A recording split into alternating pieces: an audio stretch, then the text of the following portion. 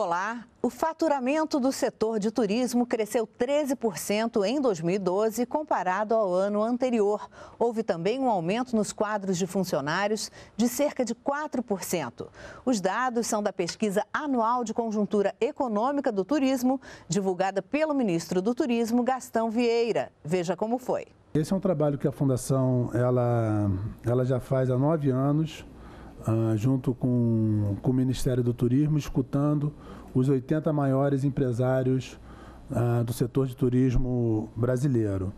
Uh, o faturamento dessas empresas corresponde a cerca de 58 bilhões de reais, enfim, então é, um, é uma amostra muito significativa do, do setor de turismo, as maiores empresas estão nessa, estão nessa amostra. Ah, essas empresas elas têm nos seus quadros de funcionários 115 mil funcionários, ou seja, mais uma vez, é um, é um, é um número muito representativo de, de empregados e elas têm, a, elas têm unidades, representações e filiais em todas as 27 unidades da federação. O que, que a Fundação faz? A Fundação manda seus pesquisadores na nessas empresas, ela, ela viaja até a sede dessas empresas e conversa com o presidente de todas essas empresas, perguntando, basicamente, como foi o ano anterior, como está seu momento atual e como vai ser o seu próximo ano.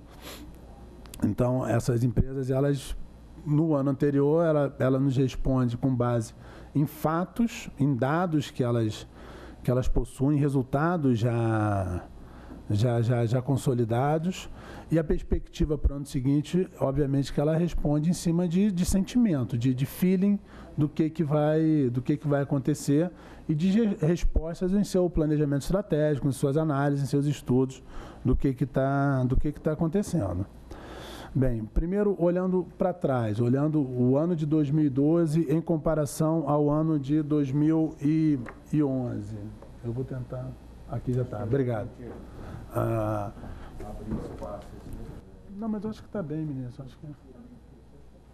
Ah, o ano de 2012 em relação ao ano de 2011, as empresas elas aumentaram seu faturamento em 13,1%, que é um número bastante, bastante significativo.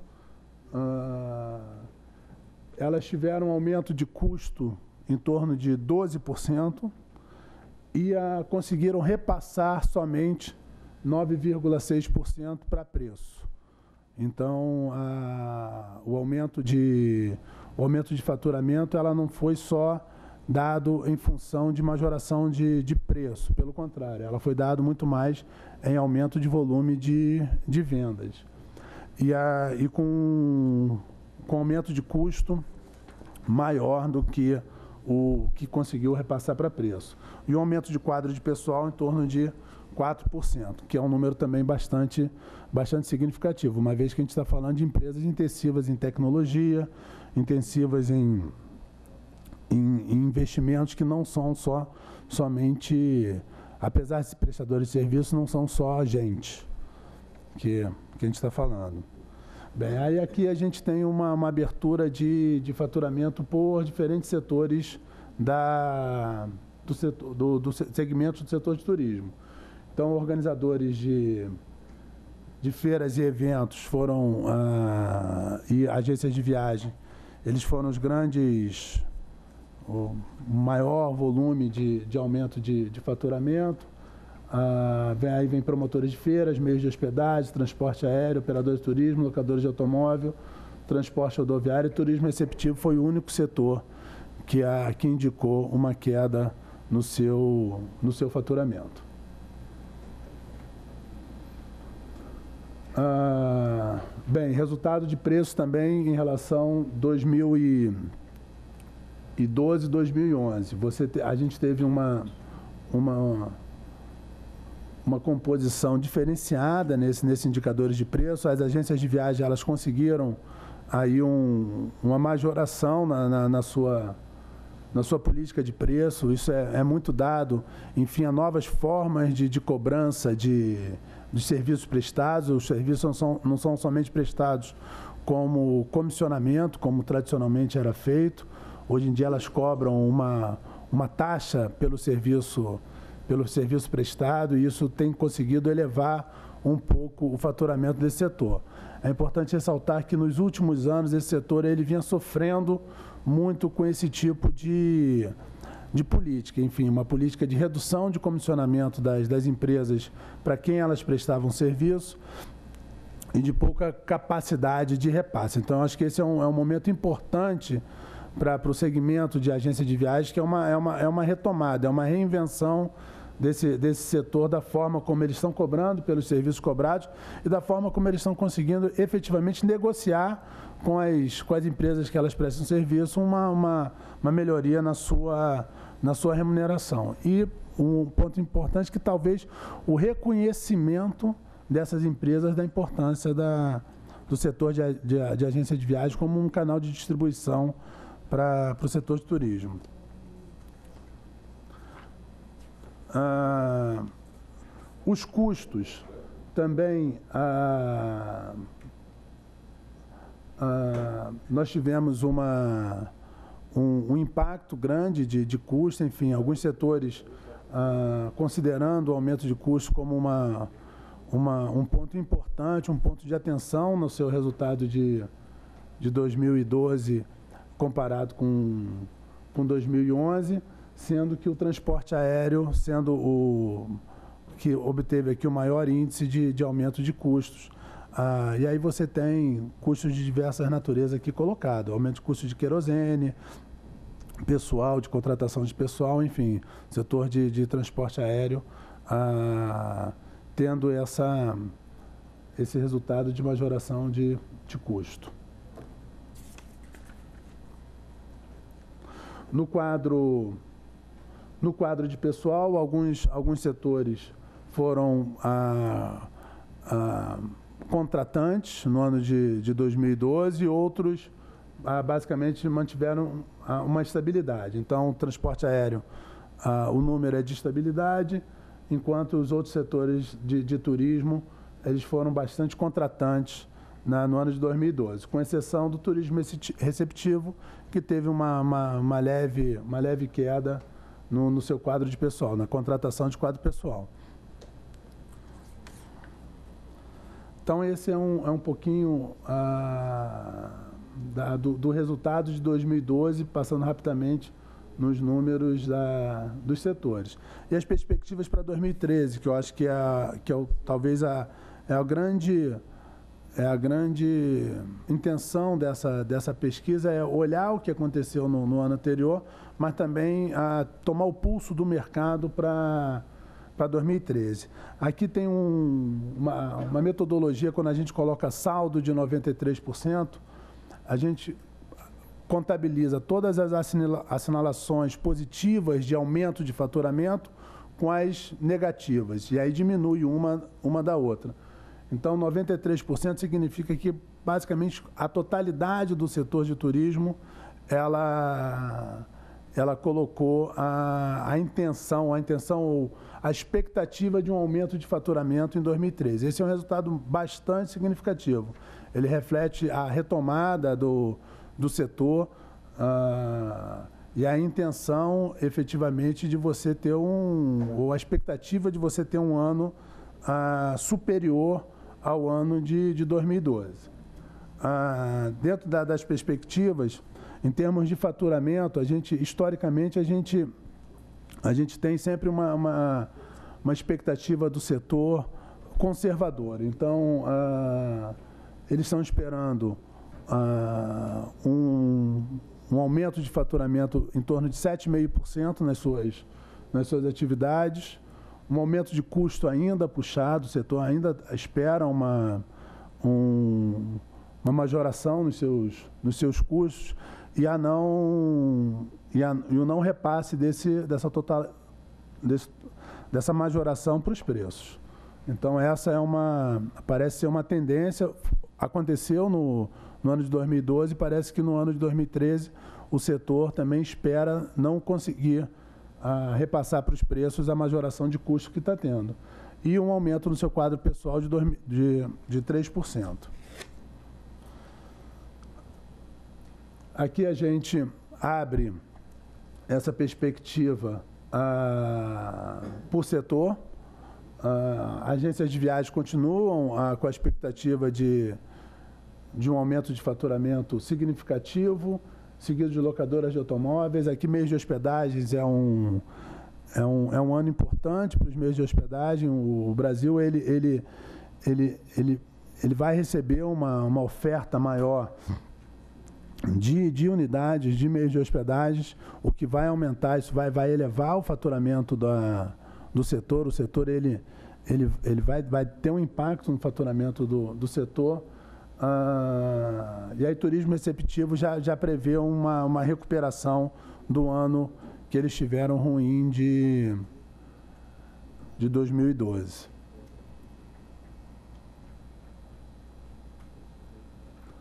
Aqui é, uma, é um dado, acho que, bastante significativo, que é o, a intenção de investimento. O que, que o setor espera investir ah, em, em 2013? Então, ah, em percentual do faturamento. Então, o setor espera investir 13% do, do seu faturamento, que é um número bastante significativo, uma vez que essas empresas que a gente está que a gente está falando, elas correspondem a quase 60 bilhões de reais. Então, aqui a gente está falando em torno de 7 a 8 bilhões de reais nessas empresas em termos de, de, de investimento uh, para o setor de turismo. Então, é um número bastante significativo e aqui o percentual uh, do seu faturamento. Obviamente que você tem empresas que são mais intensivas em capital, o caso aqui de, de locadoras de automóvel, ele é muito ele é muito clássico, enfim, eles precisam renovar a sua, a sua frota anualmente, eles têm uma rotatividade muito grande do seu ativo. Uh, as operadoras de turismo também, num, num período de, de aquisição, de, de, de operação, de, de, de, de unidades menores. E a meios de hospedagem também, enfim. Então, o setor ele está muito ah, eu diria, propenso ao investimento no ano de, de 2013.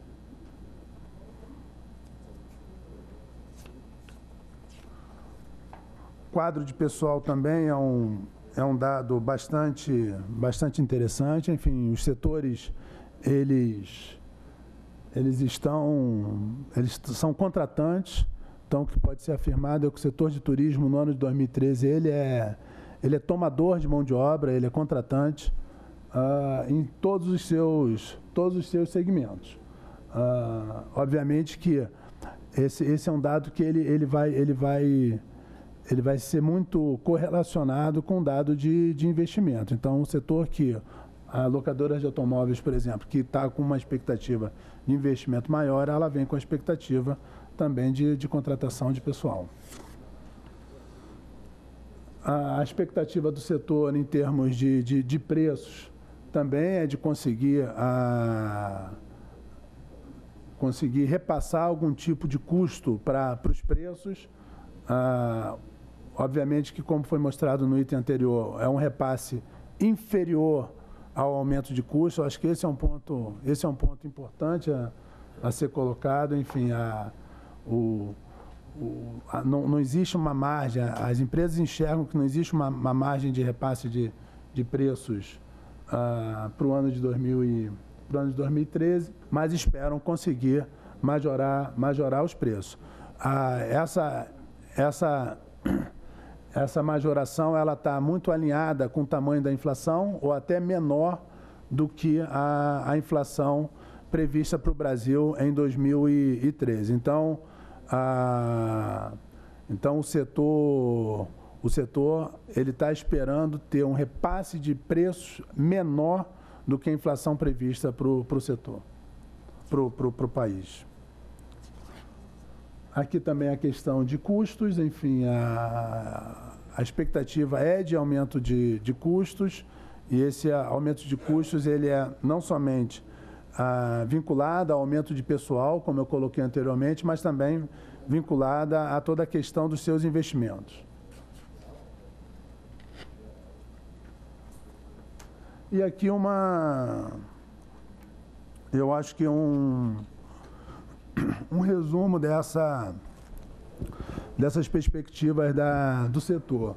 A retomada do crescimento da economia, isso, isso é tudo, é tudo a, a opinião dos empresários que foram coletadas. Então, retomada da, da, do, da expectativa de crescimento da economia brasileira em 2013, isso foi muito citado pelos, pelos empresários, a, a estabilidade, a estabilidade econômica, a, o aumento de demanda da nova classe média também é um ponto bastante, bastante citado e bastante comemorado pelo, pelo setor de, de turismo. Enfim, uma nova, um novo grupo de brasileiros viajando, e isso está impactando não somente nos setores ah, de transporte aéreo, como de, de hotelaria, enfim, os brasileiros de diferentes classes viajando, ah, incentivos de, na, na, área de investimento, incentivos do governo para construção e reforma de, de hotéis, enfim, ah, isso já, já é sentido pelo,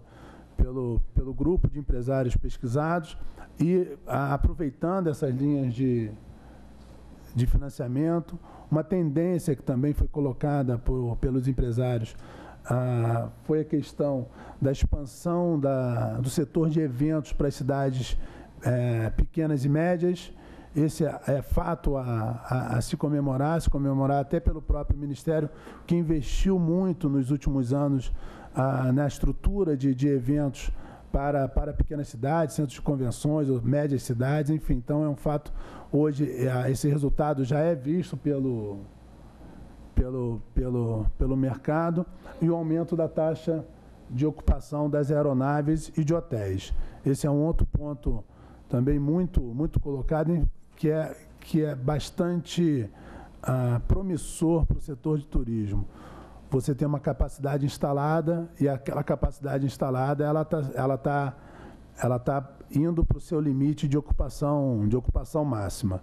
Esse é um ponto que, que nos leva a crer que os próximos anos, além de 2013, você ainda terá um volume de investimento maior e um crescimento ainda maior do setor. Enfim, ah, eu acho que esses são os highlights da, da pesquisa. Eu estou aqui à disposição para tirar qualquer tipo de, de dúvidas. Gostaria de, de ressaltar que a, somente que essa pesquisa ou esses resultados, isso não é uma, não é uma opinião da, da Fundação, isso é a coleta das informações junto aos empresários. A Fundação somente ela consolida esses dados trata os dados para que a gente tenha esse resultado aqui apresentado. Obrigado. De uma forma geral, é, como secretário nacional de políticas de turismo, a leitura é de que o setor está saudável. É, o, setor, o setor demonstra vitalidade. Né? O, o, turismo vem crescendo mais que a economia nacional nos últimos anos. o empresariado projeta crescimento superior ao crescimento nacional nos próximos anos. O, a participação no PIB do turismo no Brasil, ela é nacional, ela é crescente, nós estamos em 3,7%, isso indica crescimento, o, o, viés é de, de alta dessa participação do, do turismo. Isso vai, é, isso aqui se acumula com outras pesquisas que a GV fez, que mostram que em 2014, 2015, 2016, em função dos grandes eventos, essa curva continua dobrando, triplicando em média dependendo da, da abordagem, o, o, crescimento, sobre o crescimento médio da economia. Então, o setor turismo hoje é um setor que reboca grandes áreas, que vocês viram aqui a cobertura, né? Eh, dos vários setores. Na verdade, é uma, é uma, uma macro dimensão econômica, né?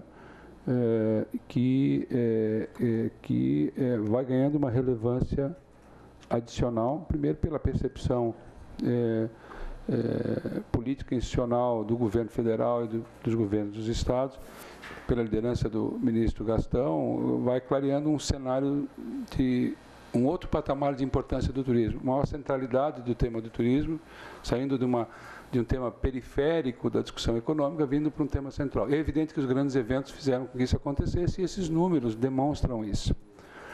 É, talvez até porque a base do turismo no Brasil ela seja economicamente uma base ainda é, não de uma economia madura, né, essas taxas de crescimento deverão ser muito altas nos próximos anos ainda, por muitos anos a fio.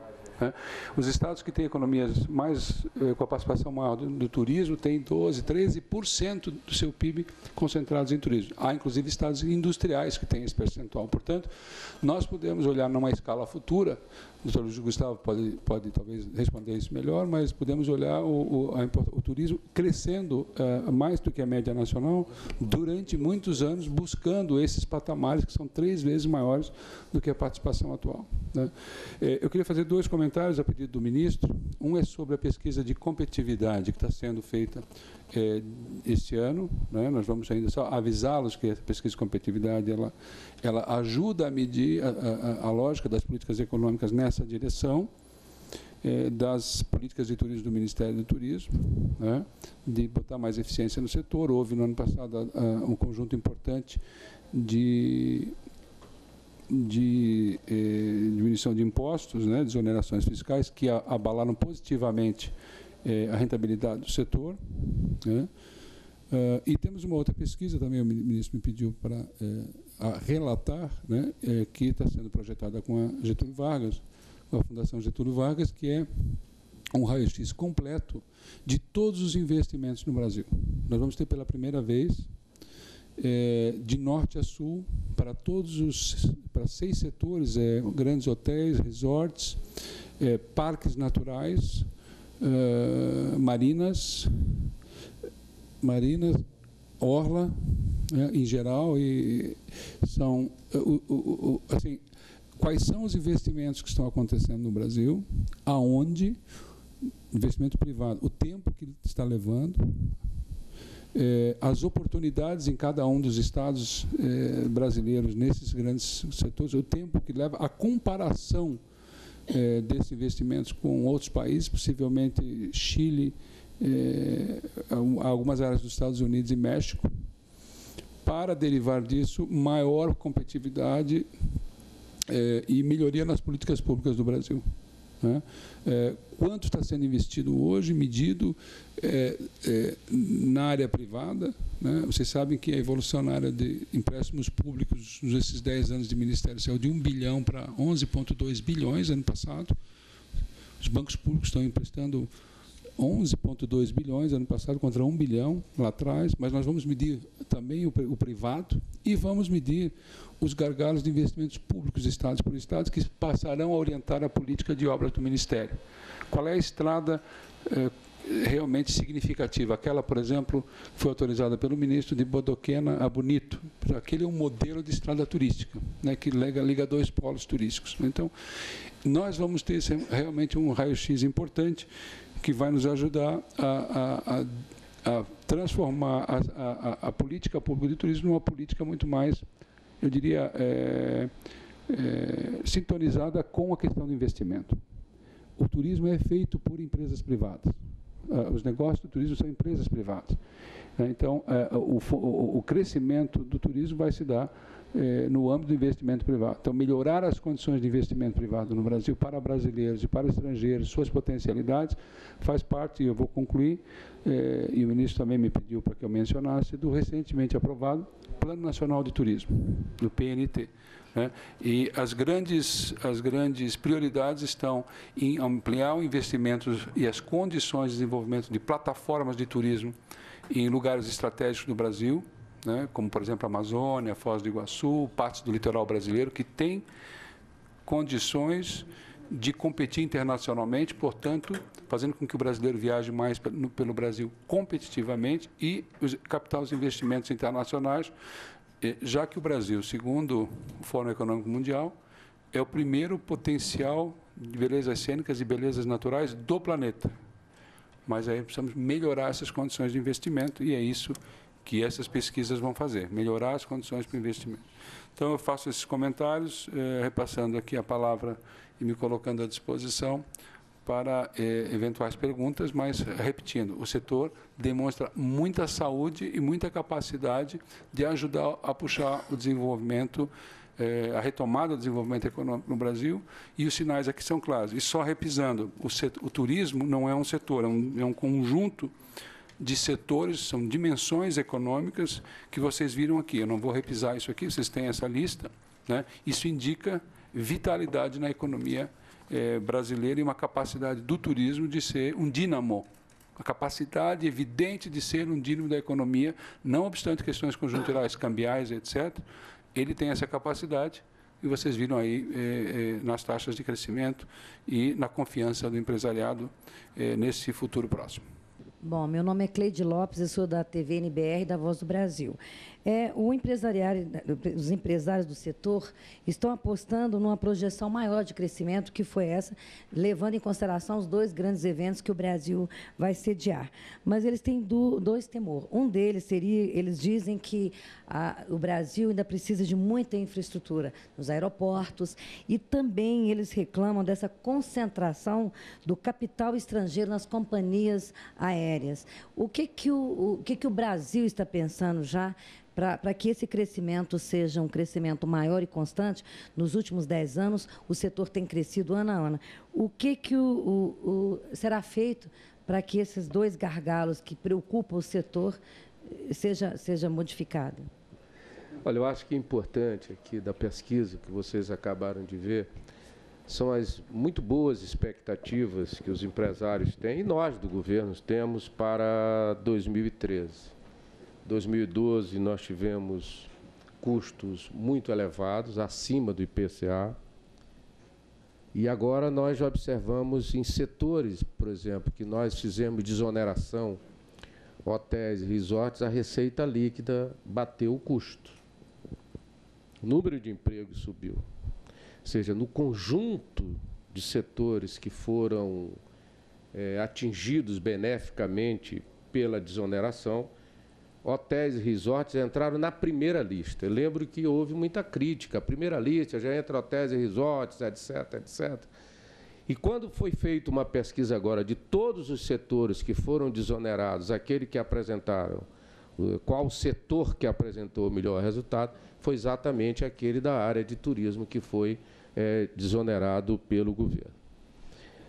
Então, as perspectivas para 2013, da economia como um todo brasileira, da economia como um todo, o setor industrial está recuperando a sua capacidade de atividade econômica e o turismo não, é, não foge muito disso. Mas eu não vou fugir da sua pergunta, muito embora com o cuidado necessário de não entrar num setor que está sob responsabilidade de uma outra área é, governamental, no caso, é, a Secretaria da Aviação Civil.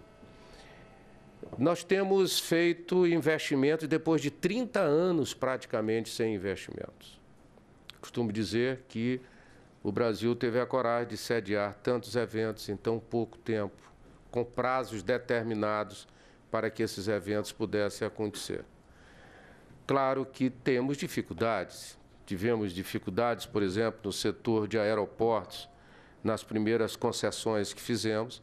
Essas dificuldades estão sendo corrigidas e creiam vocês que nos editais próximos muita coisa avançou no sentido de criar um ambiente de muito mais confiança para o investidor do que talvez nos editais anteriores. Isso é um gesto de extrema coragem do governo, na medida que enfrentamos sempre muitas dificuldades, muitas pressões, inclusive ideológicas, com relação a estas questões.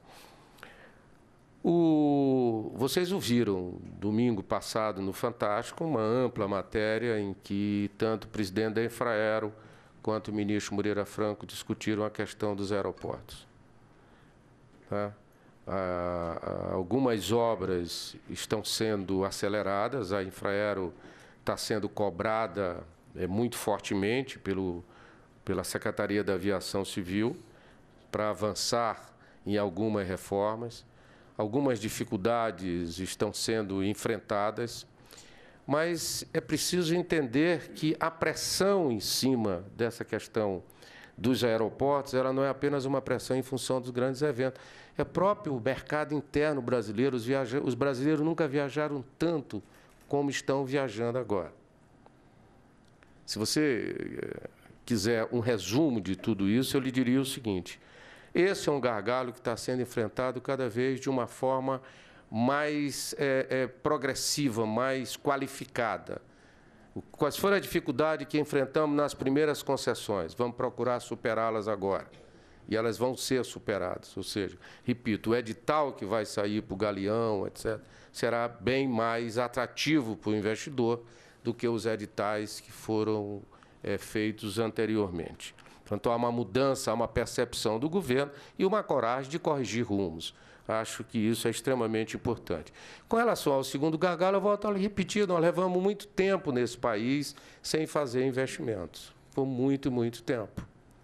E fazer investimentos, você enfrenta uma série de dificuldades. Vou dar um exemplo para você: investimento pequeno compete ao Ministério do Turismo, dentro da matriz de responsabilidade da Copa, providenciar a sinalização turística, acessibilidade para pessoas portadoras de deficiência e construção de centro de atendimento aos turistas. Nós repassamos os recursos para as 12 cidades sedes via Caixa Econômica desde junho de 2012. E lamento dizer Estamos cobrando diariamente, reunindo secretário, reunindo novos prefeitos, chamando os atores diretamente envolvidos com essa questão. Nenhuma das cidades sedes conseguiu assinar o contrato com a Caixa Econômica para providenciar a sinalização turística, para providenciar a acessibilidade. Nós financiamos o projeto na perspectiva de que a inexistência do projeto haveria de demorar bastante a consecução dessas obras, que aparentemente são obras simples. Financiamos o projeto, estamos com recurso agora para financiar a obra, mesmo a fundo perdido, não é financiamento, é não reembolsável, e mesmo assim há uma dificuldade enorme por parte das prefeituras das capitais que vão ser sede de Copa de fazer algo que para vocês aqui parece uma coisa tão simples, pôr uma placa bilingue, enfim, Nenhum contrato foi assinado ainda. Tanto, eu dou um pequeno exemplo na área do turismo para mostrar para vocês a dificuldade que você tem por falta de projeto, muitas vezes, é, pelas licitações, que há sempre alguém contestando alguém, pela dificuldade da burocracia de se movimentar, enfim. Mas nós estamos avançando e eu tenho absoluta certeza que quando o primeiro jogo começar, a maior parte desse problema estará superado. A minha pergunta em relação aos números, que apesar da expectativa de crescimento de 7,5 para 2013 no faturamento, isso é uma desaceleração em relação a 2012. Isso no ano onde tem a Copa das Confederações, por exemplo. Eu queria saber por que essa expectativa de desaceleração para o setor do turismo. Luiz. Tradicionalmente, o, o, o setor ele, ele, ele, ele, ele, ele assinala uma expectativa inferior a, ao que é apurado no nosso ano seguinte de pesquisa. Então, se vocês resgatarem a, a expectativa do, do, do, ano anterior, também era inferior aos 14,2 que a Bem gente inferior, né? que a gente constatou em 2012. Então, eu diria para você que o setor turismo é um setor tradicional conservador em suas, em suas expectativas. Ah, obviamente que aqui não é, um, não é nenhum exercício de futurologia, mas nos últimos nove anos de pesquisa a gente, a gente identificou essa mesma, essa mesma tendência do setor, sempre tentando, sempre ah, com expectativas inferiores a efetivamente o que aconteceu no, no ano.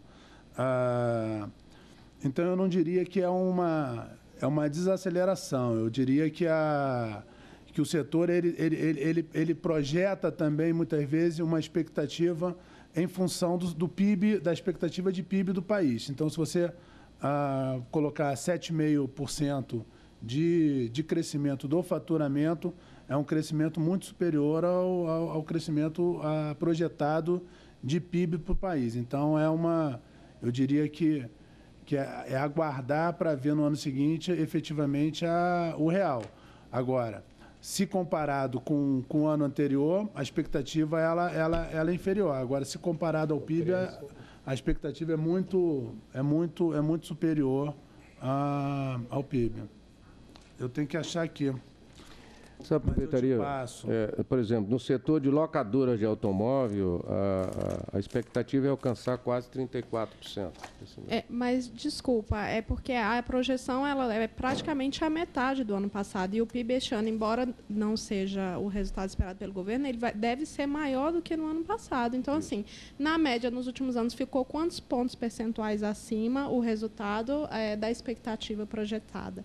E, além disso, eu queria saber, ministro, Queria só que o senhor comentasse é, sobre essa questão da dificuldade das prefeituras e dos governos de assinar os contratos. Quanto foi destinado a esse projeto? Né? Até agora não saiu nada, pelo que o senhor falou. O senhor falou que tem aí outro é, investimento que deve ser feito também. E uma terceira pergunta é com relação aos preços dos hotéis, que foi a segunda maior alta, né? E mesmo com a desoneração feita pelo governo, o governo pode limitar outros benefícios fiscais para esse setor? É, o governo está acompanhando essa alta de preços. Eu sei que o mercado é livre, mas o governo acompanha isso de alguma forma? Está preocupado com isso, né? Enquanto Luiz só vou lembrar para a pessoa. Pro... É... é... o Luiz procura o dado. É, nós, nós disponibilizamos ano passado para a elaboração de projeto e execução de algumas obras, aquelas que os projetos ficassem rapidamente prontos, 116 milhões. É isso que tem a matriz, que determina a matriz financeira da, na responsabilidade do Ministério do Turismo. E temos para 2013 mais 84 milhões para execução das obras é, que forem definidas pelos projetos executivos. E, enfim, completas são esses dois valores: 116, 2012, 84, 2013. Não, os contratos estão sendo concluídos na parte referente a projetos. Né? E, e nenhuma obra foi ainda assinou o seu contrato com a Caixa Econômica. Mas ele, é, nem, não, dos 116 milhões, volto a te explicar. Ali dentro tem também financiamento para projetos executivos. A prefeitura não tinha o projeto, recebeu o financiamento não reembolsável do Ministério do Turismo para elaborar o projeto. Muitas estão concluindo o projeto este mês e vão solicitar agora os recursos para executar a obra. Né? Mas nenhuma obra foi iniciada ainda. Poderia me dizer, desses 116 milhões, quanto foi para projetos, então? Nesse momento, não, mas essa é uma informação fácil de ser disponibilizada, que está sob a responsabilidade da Caixa Econômica. E nós acompanhamos, reunimos todo mês, chamamos. Houve um problema no passado que se tem de considerar que algumas cidades sede tiveram troca de prefeito, troca de equipes, enfim, tudo isso acabou ocasionando uma certa demora na recomposição do entendimento entre o Ministério e a cidade sede. Algumas cidades já tinham projetos de, de sinalização, mas eram projetos que não eram bilíngue, a exigência é que o projeto seja bilíngue. Então, troca-se uma placa agora e depois vai se entrar com a placa definitiva. E no caso de acessibilidade, é, que temos mais atrasos. São obras de engenharia aparentemente simples, né, que são pequenas obras de engenharia da acessibilidade, mas, na verdade, não havia uma certa expertise. É, são pouquíssimas cidades brasileiras que se prepararam para dar acessibilidade. E aí isso demora um pouco mais. Mas nós estamos fechando uma expectativa com eles que até o final de julho todas as obras com projeto executivo concluído, recebam a ordem de serviço e se iniciem nas cidades sedes da Copa. sobre a hotelaria, os preços?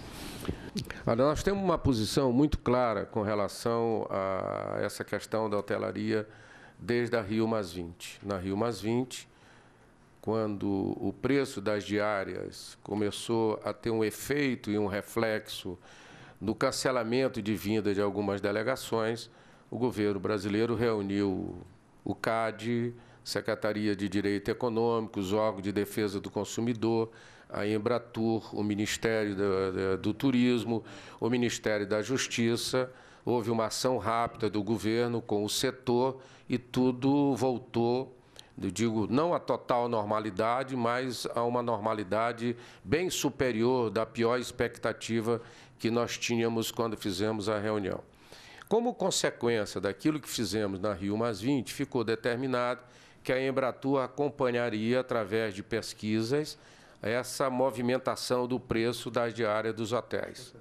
É. E nós, então, é, estabelecemos no Ministério do Turismo que nos deslocaríamos a todas as cidades sede para reuniões com o setor.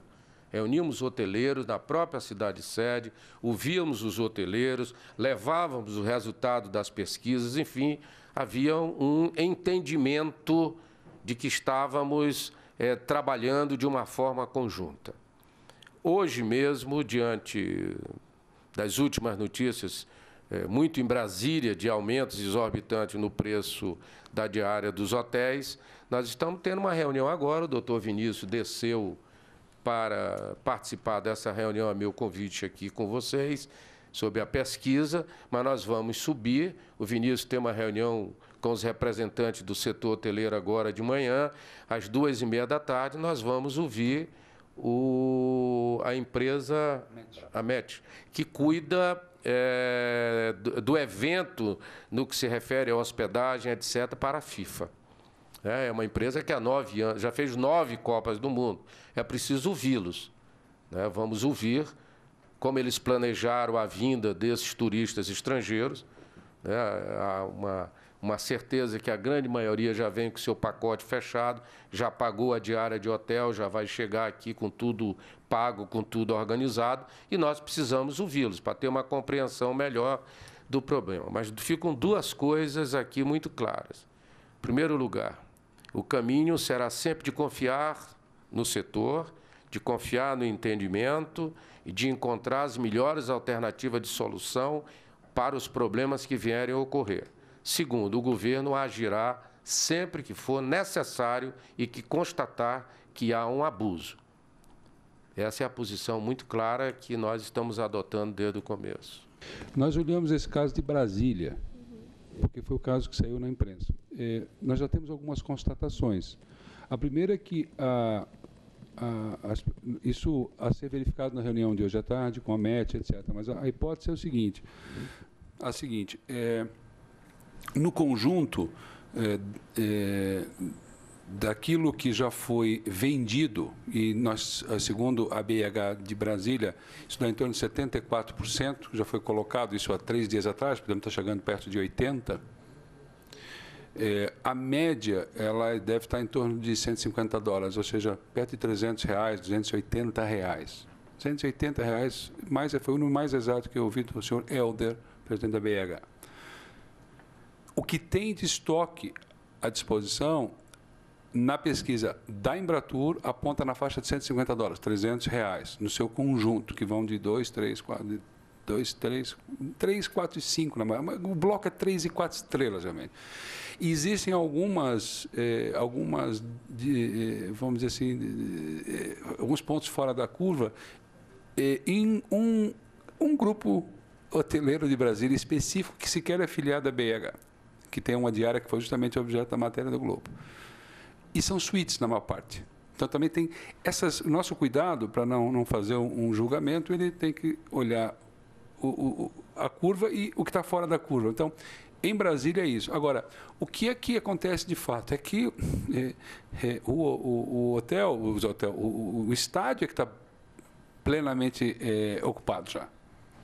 Então a hipótese em Brasília, atestar hoje à tarde, ministro, no caso de Brasília, é que provavelmente é, a ocupação vai ser plena, é, porque tem esse residual, mas não deverá faltar hotel. Porque 80% de, aqui em Brasília vai ser do mercado regional. Então nós vamos ter em torno de 16 mil, isso é demanda pelo, pela pesquisa que foi feita pela Embratur, 16 mil pessoas. Né? Quem queria reservar hotel é porque tinha ingresso, já reservou. Então, preço de, esse preço, mesmo esse desvio, deve se ajustar. Mas isso é Brasília. Cada cidade é um caso. Cada cidade é um caso. São mercados específicos, situações específicas. Né?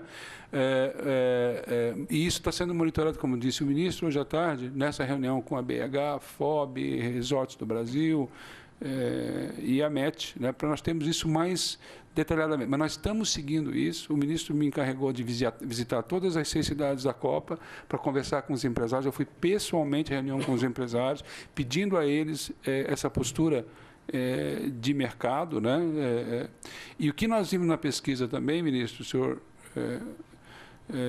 até comentou isso ali, é que é, esses preços, quando são altos, não na Copa das Confederações, não estou falando de Copa do Mundo. O mundo é um outro problema que nós vamos ter que enfrentar lá na frente. Mas não tem superado os topos dos mercados nas seis cidades. Não tem superado, está sempre abaixo. Quer dizer, qual é o topo é, da cidade X? Réveillon, está abaixo. Qual é o topo da cidade Y? Carnaval, está abaixo, bem abaixo. Bem abaixo. Isso é fato comprovado em pesquisa. Né? Então, não há razão para um alarme em relação à Copa das Confederações, a questão da Copa do Mundo é outra, porque aí vem 600 mil. Então, isso agora é um treino. Né? Jogo é treino, é treino, jogo é jogo, né, ministro? Então, não há caso para alarme na Copa das Confederações. Agora, há caso para muita atenção, e o ministro pontuou isso em relação à Copa do Mundo. Só queria completar com você essa questão das obras que estão sob responsabilidade do Ministério do Turismo. Depois de toda essa rodada, fomos em todas as cidades, fizemos várias reuniões com as equipes técnicas.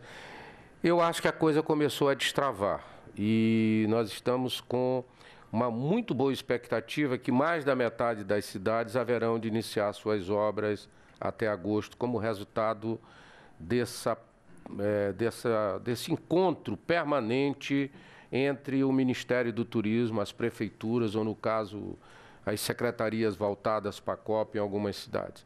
Tanto que não são obras complexas e eu tenho a impressão que a partir de agosto as coisas começam. É, sinalização turística, que na pesquisa, que não, não é essa pesquisa que estamos apresentando, a sinalização é um dos itens é, que o turista mais reclama no Brasil. É, e, e não apenas aquela sinalização de placas, que mostram destinos. Eles reclamam também de sinalização em metrôs, em pontos de ônibus. Enfim, sinalização é uma prioridade do ponto de vista do nosso cliente, que é o turista. Portanto, a outra prioridade é a acessibilidade a monumentos turísticos, permitindo que pessoas portadoras de necessidades especiais para se deslocar possam chegar com tranquilidade, com segurança e com conforto naquele ponto turístico. Portanto, o, o, não é uma área tão abrangente, são, são bem pontuais e nós trabalhamos para passar desse período de substituição de prefeito, de secretários. A expectativa nossa é muito positiva de que vamos destravar tudo a partir de agosto agora. Bem, ah, eu já, já consegui aqui os dados. Ah, em 2011, o, o, aumento real de faturamento foi 18,3% contra 15,7% de, de expectativa, ou seja, cerca de 85%. Em 2012, foi aumento real de faturamento 14,2% contra 11,3%, ou seja, cerca de 79%. 11,3%. É João Vilaverde, do Estado de São Paulo. Uh, o, o, ministro destacou o fato de que o, o, setor de turismo como um todo, em especial de meio de hospedagem, no Brasil passou coisa de 30 anos sem investimento. E agora, de uma hora para outra, o Brasil entrou no radar global, você tem que investir. Uma grande reclamação, no entanto, dos turistas brasileiros que estão viajando pelo mundo e aí estão tendo acesso a coisas de, de primeira qualidade, é que no momento que ele vai viajar no país dele, primeiro é muito caro, segundo que a qualidade é, de modo geral é muito ruim, ou seja, tem muito espaço para investir.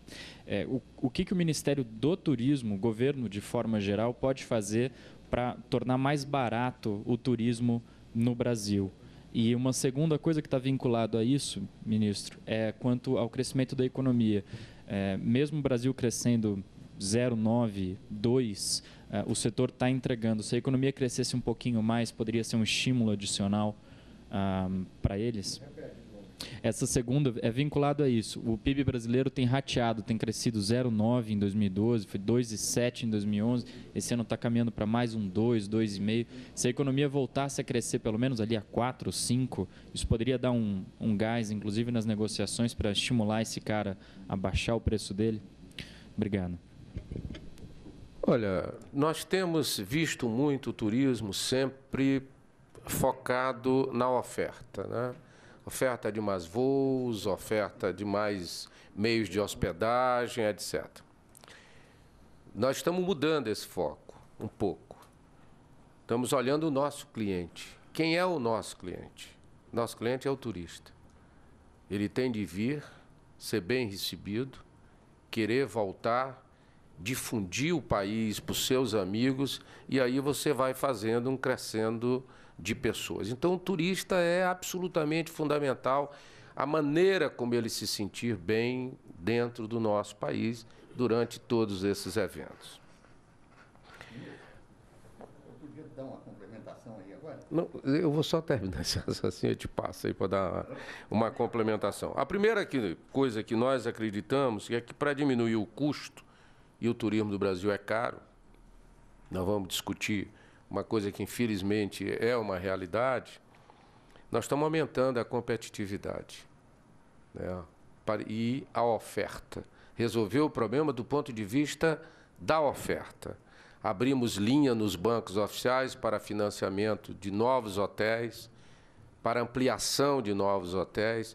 E como nós estamos querendo ter novos meios de hospedagem mais simples, mas que possam ser uma alternativa diante desse, dessa grande discussão de preços excessivos de diárias, pousadas, apartamentos particulares. Aliás, está no site do Ministério uma relação de meios de hospedagem de cada uma das cidades. Ainda não é um trabalho completo, perfeito, mas nós estamos avançando muito, não é, Vinícius? No sentido de disponibilizarmos essa informação.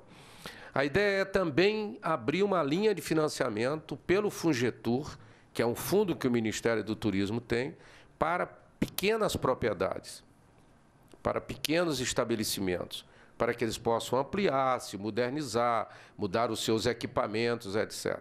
Esse também é um ponto que nós estamos é, é, trabalhando fortemente. De outro lado, estamos fomentando o brasileiro que está viajando a também fazer turismo durante a sua viagem. Nós temos muita viagem. Nós estamos muita, muitas pessoas que estão se deslocando para visitar o seu parente. 197 milhões de viagens. É preciso que essa viagem se transforme em turismo em, nos momentos em que o preço da passagem aérea está abaixo estação e o preço da diária do hotel também. Aí vem alguns programas como Viagem Mais Melhor Idade, que é um programa destinado a pessoas com mais de 60 anos de idade. Né? Eu vou deixar depois o Vinícius, vamos fazer uma coletiva para apresentar para vocês. Vai ser 2 de julho. 2 de julho, já, está marcada a data. Estamos focando o mesmo programa que vai ter financiamento até em 48 parcelas, é isso, né, Vinícius? 48 parcelas, Caixa e Banco do Brasil. Caixa e Banco do Brasil. E ofertas das. E oferta das operadoras privadas, CVC, etc, etc. Estamos focando também os jovens. E, estamos estudando, e estamos estudando com o Ministério do Trabalho já há bastante tempo como fazer também para os trabalhadores. Linhas de financiamento para que os trabalhadores também viajem. Com isso, você aumenta bastante a quantidade de brasileiros viajando pelo seu próprio país. Então, são medidas que vão trazer efeito a médio prazo. Mas esse mercado que está tão aquecido, ele oferece oportunidades desde já. Agora, como bem disse o Luiz, você tem um setor, setor de turismo, empresariado ligado ao turismo, é um setor conservador. As grandes redes de hotéis que nós temos por esse país, elas são redes, num percentual alto, redes familiares. São famílias que dominam aquele hotel. E se fizer uma comparação por exemplo, com o setor de ensino superior, que há 10 anos atrás eram faculdades isoladas aqui, faculdade isolada ali, etc. E, de repente, a união da Croton com a Anhanguera cria-se a maior companhia de ensino privado do mundo, com quase 800 mil alunos. Quando você olha o ensino privado, eu trabalhei muito na, na, como presidente da Comissão de Educação com esse setor, é, é, o que, que começou a fazer a diferença desse setor? Foi investimento maciço em gestão, prioridade absoluta na gestão do negócio, trazido pelos fundos estrangeiros que passaram a aportar recurso para esse setor. Então, no turismo também, a prioridade que nós temos conversado com os empresários é melhorar o modelo de governança, é melhorar a gestão. Portanto, eu acredito que com essas medidas, João, nós tenhamos todas as condições de alcançar as metas que colocamos ali no PNT. Até porque outros países fizeram isso. E bem, como a Espanha, só para citar o que todo mundo cita. Né? A Espanha tinha uma estrutura turística muito parecida conosco, com uma vantagem adicional incrível fronteira, está ali na Europa, você não demora muito, entrou na Espanha. Aqui nós temos problema de distância, temos problemas de linhas aéreas, enfim, temos uma série de outros fatores que determinam essa quantidade menor de turistas ou esse crescimento muito lento do número de turistas estrangeiros. Mas nós estamos focados na questão econômica. Vou dar uma notícia para vocês. Aqui, é? nós, o setor de eventos, feiras e negócios, cresceu muito no Brasil. Nós estamos propondo para a presidenta, já estamos com os recursos assegurados, a construção de centros de eventos em mercados que têm um dinamismo enorme, como Porto Alegre, Curitiba, Comburiú, só para citar três, né, que receberão aporte do Ministério do Turismo para a construção ou ampliação ou modernização dos seus centros de eventos. E lembra bem o Vinícius, vocês acompanharam, o Valor fez uma matéria sobre isso, foi, cresceu 37%. O Brasil hoje realiza 360 eventos internacionais, quase que um por dia. Ou todo dia tem um evento internacional. É um setor dinâmico, é um setor em, em franco crescimento, que compete ao Ministério do Turismo apoiar a construção de centros de eventos em cidades onde potencialmente você terá um desenvolvimento ainda mais rápido desse setor. Portanto, é um pouco o, o aquilo que nós estamos fazendo. Eu vou passar para o doutor Zé Francisco, nosso decano é, é um esclarecimento que, que, que põe a coisa nos seus devidos lugares. 60 milhões de brasileiros fizeram turismo em 2012 no Brasil e fizeram esses 197 milhões de viagens que o ministro se referiu.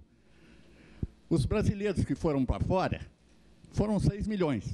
Ou seja, para cada um que viaja para o exterior, nós temos 10 que viajam para o Brasil não deixam de viajar. Outra coisa, destes 6 milhões que viajaram para o exterior, 70% no mesmo ano fizeram viagens domésticas pelo Brasil. Ou seja, 4 milhões e 200 mil é, é, viajaram pelo Brasil também. Então, na realidade, o turismo doméstico é o grande motor do turismo brasileiro, da economia do turismo brasileiro.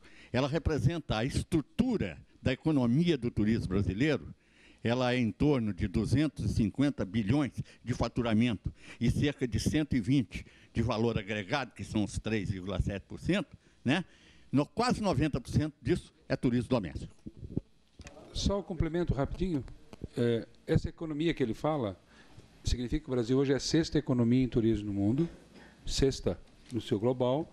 O Plano Nacional de Turismo é, projeta uma meta, eh, eu diria, heróica para a terceira economia do turismo em 2022, sendo que a projeção do WTTC é quinta. Quinta, nós passaríamos o México e o Japão nessa diferença. Para isso, nós precisamos desenvolver esse Plano Nacional de Turismo e, para isso, essa pesquisa sobre investimentos, respondendo à tua pergunta, ela é fundamental.